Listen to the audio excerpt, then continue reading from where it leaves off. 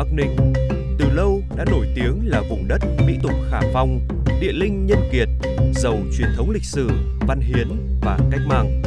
Nơi khởi dựng cơ đồ của thủy tổ Việt Nam Kinh Dương Vương, nơi phát tích Vương Triều Lý, triều đại khai mở và xây dựng nền văn minh Đại Việt.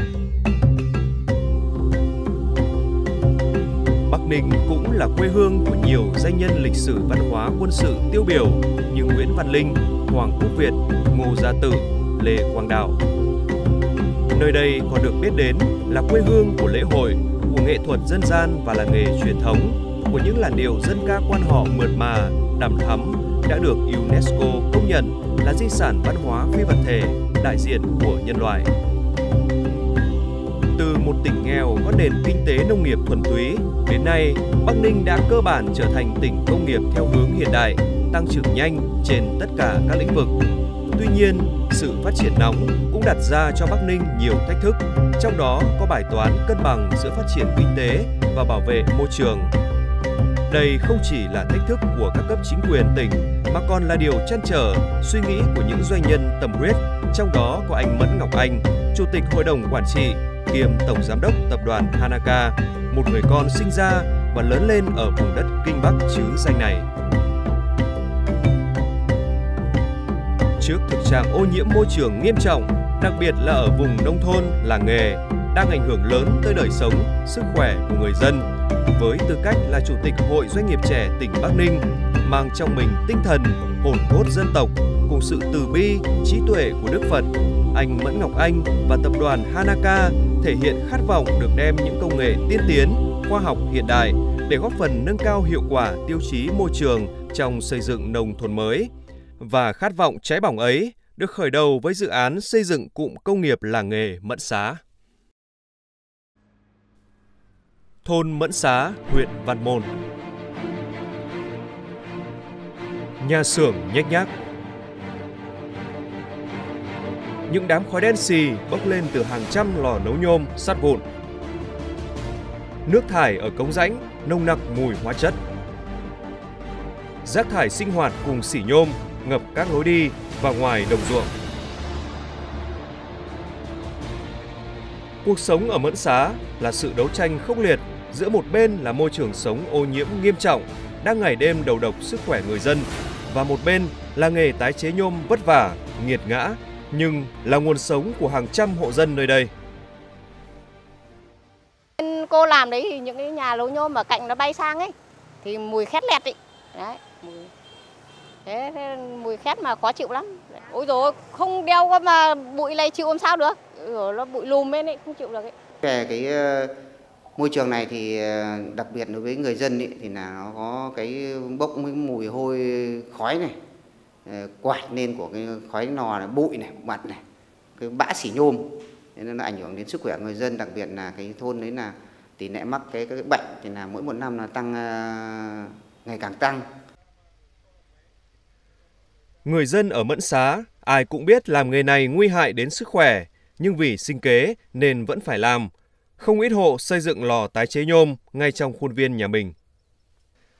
Trên 90% lao động tại địa phương gắn bó với nghề, nhưng không một ai mặc đồ bảo hộ lao động an toàn. Nếu có, thì cũng chỉ là đeo một chiếc khẩu trang. Làm đây thì đúng là mùa hè thì thật nóng thì là nóng rồi, nóng quá nóng luôn. Nhưng mùa đông thì nó đỡ hơn. Bây giờ tôi hoạt động là từ phải 12 tiếng hồ. Từ ví dụ như từ 4 giờ sáng đến 4 giờ chiều thì mới được nghỉ. Thì cái đấy là mình phải làm ấy liên tục không được không được nghỉ, không được ngủ. Đấy, trưa cũng không được ngủ, chỉ làm phải đúng 12 tiếng hồ thì mới được nghỉ. Trước tình trạng ô nhiễm môi trường đáng báo động ở đây, đầu năm 2015, Ủy ban nhân dân tỉnh Bắc Ninh đã phê duyệt dự án cụm công nghiệp làng nghề Mẫn Xá do công ty cổ phần tập đoàn Hanaka làm chủ đầu tư với diện tích trên 26 hecta. Đến thời điểm hiện tại, dự án đang được tích cực triển khai với sự vào cuộc mạnh mẽ của chính quyền các cấp và cơ quan chức năng, đảm bảo sớm giao mặt bằng sạch cho chủ đầu tư thi công. Cụm công nghiệp làng nghề Mẫn Xá Văn Môn mà đi được vào hoạt động ấy, thì ý nghĩa của nó rất to lớn. Trước hết là giải phóng được ờ, các ờ, hộ cô đúc nẻ tẻ trong khu dân cư mà các hộ cô đúc trong khu dân cư thì là những nơi là làm ảnh hưởng trực tiếp nhất đến người dân, đến người lao động. đấy là cái thứ nhất đối với người lao động. Cái thứ hai là đối với ô nhiễm môi trường làng xóm hoặc ô nhiễm nước rãnh nước. Đấy khi vào cụm công nghiệp thì tất cả những uh, hiện tượng này những ờ, công đoạn ô nhiễm này đều được xử lý. Đối với còn khoảng ờ, 30 hộ dân chưa nhận đền bù trong diện tích 29,7 hecta của cụm công nghiệp làng nghề thì đối với ủy ban xã sẽ báo cáo hội đồng ờ, giải phóng ờ, mặt bằng ờ, huyện Yên Phong phối kết hợp để làm sao sớm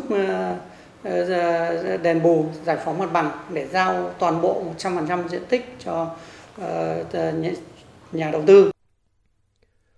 Với ý nghĩa vô cùng to lớn về môi trường và sức khỏe, dự án đang được sự quan tâm, giúp đỡ của lãnh đạo tỉnh Bắc Ninh, huyện Yên Phong và đặc biệt là sự ủng hộ của người dân thôn Mẫn Xá và các vùng lân cận. Theo chính quyền và thôn và và tỉnh, nhà nước tập trung làm cho cái cụm làng nghề Văn Môn này thì, thì có tôi có thông báo là đề nghị các hộ uh, ra đăng ký và mua các uh, uh, các các các định các các lô để làm khu công làng nghề. Thế báo cáo với các vị này mỗi một lô là từ 200 mét vuông trở lên. Thế mà coi tôi chỉ ngồi ở ở, ở văn phòng ở phòng làm việc của chúng tôi ở nhà văn hóa. Thế nhưng mà ừ, trong vòng một tuần phải đến hơn 700 hộ, 728 hộ, chính xác là 728 hộ. Hiện nay tôi vẫn giữ quyền sổ đấy. Có từng từng số thứ tự ở nói, không phải nói từng người một. Người thì mua hai miếng, người mua ba miếng nó tầm độ hơn 700 miếng. Thế mà đây thì không đủ. Tức là ừ, về nhà doanh nghiệp này muốn xin thêm 10 hecta nữa mới đủ phục vụ. Tức là theo đăng ký của dân thì nó như thế. Thế là theo đăng ký của dân trước khi bắt đầu hình thành ra cái khu công nghiệp này người ta đã đăng ký như thế rồi. Nhưng mà cao đồng chí dân này rất ủng hộ. Dân ở đây hầu như người nào cũng đồng tình lên tại vì cũng thực tế là cũng ô nhiễm rồi chứ không phải không. Cho các chú muốn về cộ như chứ một riêng như nhà chú nhà chú làm ba xưởng to không phải một xưởng này mà chú phải làm nhỏ lẻ này. Dù dự án cụm công nghiệp làng nghề Mẫn Xá đang gặp phải những khó khăn trong giải phóng mặt bằng và xin điều chỉnh quy hoạch, nhưng tập đoàn Hanaka vẫn thể hiện quyết tâm cao sớm đưa dự án vào hoạt động trong năm nay.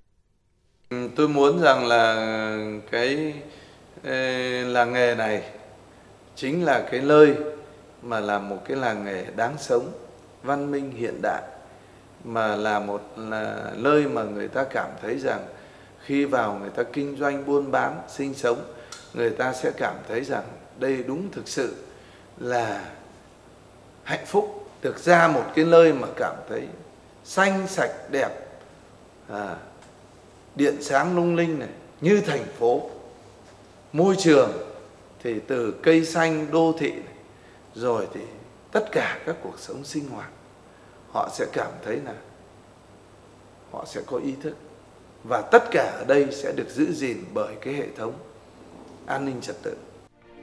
Những con đường nhựa to đẹp rực rỡ ánh đèn, những vườn hoa nhiều màu sắc như thế này sẽ là hình ảnh quen thuộc bên trong cụm công nghiệp làng nghề Mẫn Xá trong một ngày không xa nữa. Đây sẽ là minh chứng rõ nét nhất cho sự cố gắng, nỗ lực vì màu xanh quê hương của tập thể cán bộ công nhân viên tập đoàn Hanaka mà đứng đầu là anh Mẫn Ngọc Anh. Bên cạnh dự án cụm công nghiệp làng nghề Mẫn Xá góp phần bảo vệ môi trường, anh Mẫn Ngọc Anh còn đóng góp ủng hộ cho các hoạt động tâm linh tưởng nhớ những anh hùng dân tộc trong lịch sử Việt Nam. Cụ thể, anh và tập đoàn Hanaka đã dành rất nhiều tâm huyết, công sức và thời gian để cùng người dân thôn Mẫn Xá xây dựng, trùng tu đình đền tướng quốc, quốc tướng Linh Từ là nơi tôn nghiêm thờ vua Hùng và các vị tướng có công lớn với đất nước từ thời vua Hùng dựng nước như Trương Chiêu Công, Trương Tuấn Công cho đến thời đại Hồ Chí Minh như Đại tướng Võ Nguyên Giáp, Lê Trọng Tấn, Hoàng Văn Thái, Văn Tiến Dũng, Nguyễn trí Thanh.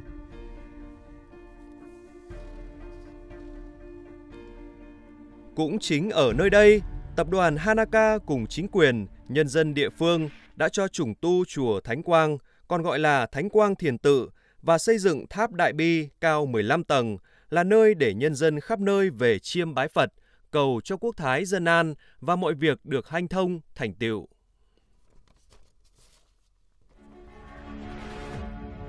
Thông qua các hoạt động tâm linh bền bỉ của mình, anh Mẫn Ngọc Anh rất mong muốn mọi người hãy luôn biết ơn và tưởng nhớ đến sự hy sinh to lớn của thế hệ cha anh đi trước để có nền độc lập, hòa bình như hôm nay, đồng thời kêu gọi mọi người hãy sống, cống hiến và có trách nhiệm với quê hương, đất nước, không vì cái lợi của bản thân mà làm ảnh hưởng đến người khác cũng như môi trường sống.